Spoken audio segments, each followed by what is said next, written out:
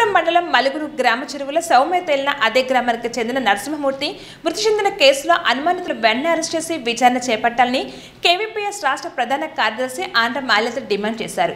హత్య కేసులో నిందితులను అరెస్ట్ చేసి మృతుని కుటుంబానికి ప్రభుత్వం న్యాయం చేయాలని డిమాండ్ చేస్తూ కేవీపీఎస్ ఆధ్వర్యంలో సిపిఎం దళిత ప్రజా సంఘాల ఆధ్వర్యంలో మలగురు నుండి హిందూపురం తహసీల్దార్ కార్యాలయం వరకు పాదయాత్ర చేపట్టారు.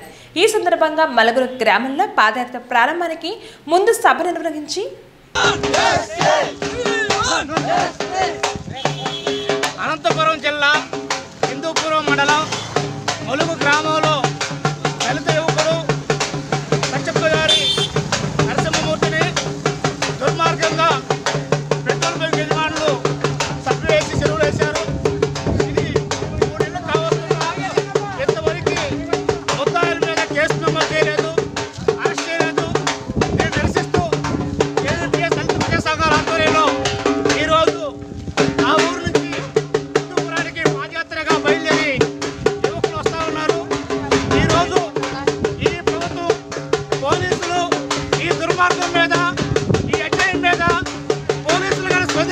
స్పందించి చేయకపోతే వారిని మా వారం టైం ఇస్తాము.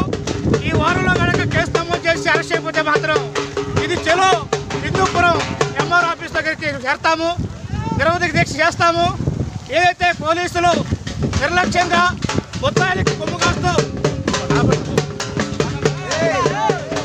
ముద్దాయిలకు కొమ్ము కాస్తూ నిర్లక్ష్యంగా ఏదైతే పోలీసులు ఉన్నారో